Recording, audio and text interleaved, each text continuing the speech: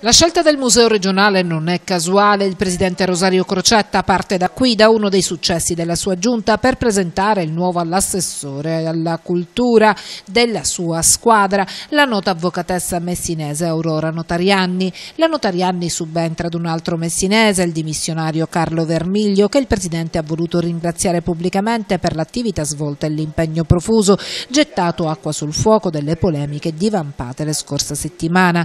Aurora Notarianni anni, nota per le sue battaglie ambientaliste e per il suo impegno sociale, sarà anche capolista del megafono a Messina in vista delle prossime elezioni regionali. A lei il compito di portare avanti quanto sino ad oggi realizzato dal collega di giunta e di farlo in tempi strettissimi.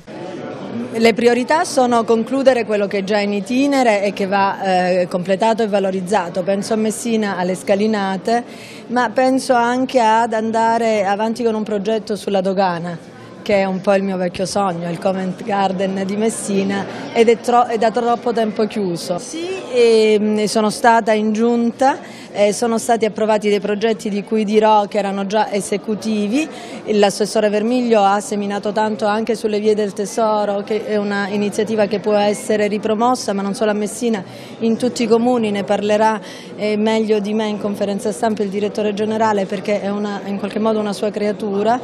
E poi eh, devo ancora esaminare bene le sue carte, andrò a Palermo, sarò lì domani e dopodomani, sapete come mi sono catapultata in questa avventura. basura.